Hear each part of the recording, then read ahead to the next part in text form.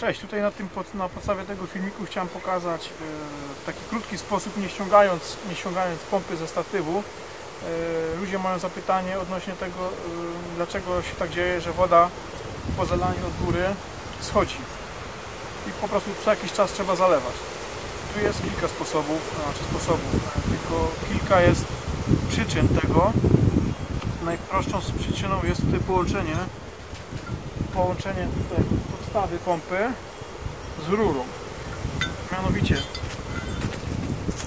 tu jest podstawa pompy, na którą się montuje, montuje pompę od góry. Przykręca się tutaj na dwóch śrubach. I tu jest zawór zwrotny taki podstawowy. Ona ma, ten zawór zwrotny ma uszczelkę. I on dociska, podczas pompowania dociska tutaj e, zawór wodę i trzyma. Tu jest następnie uszczelka taka dana na tą podstawę która odpowiada właśnie za taką za szczelność tej, y, tej całego, tego całego systemu. I następne połączenie gwintowe, które tutaj jest z rurą. Tu jest po prostu rura i gwint.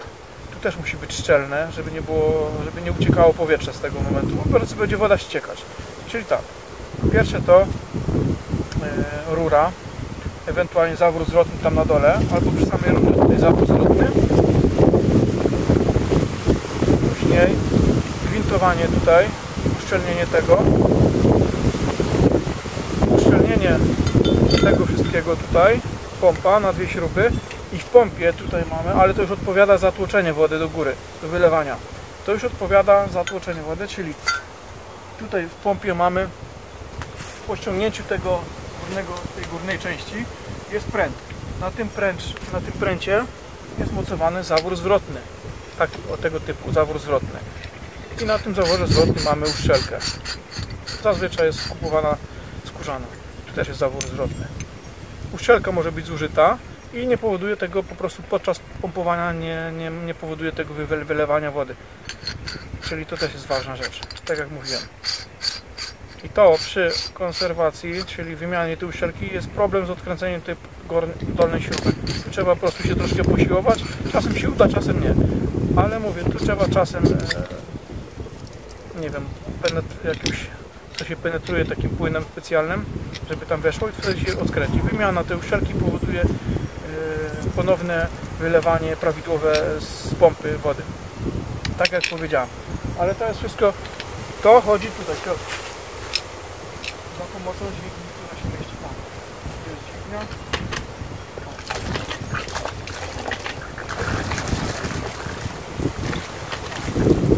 Żeby do tego się dostać, trzeba ściągnąć górną część.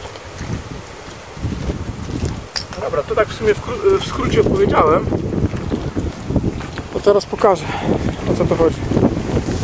Żeby po prostu dostać się do tego tłoka, który Wam pokazywałem, trzeba na tych trzech śrubach odkręcić górę. Na tym pręcie tutaj znajduje się właśnie ten tłok i wtedy trzeba wyciągnąć. Natomiast to, co wcześniej, pokazy...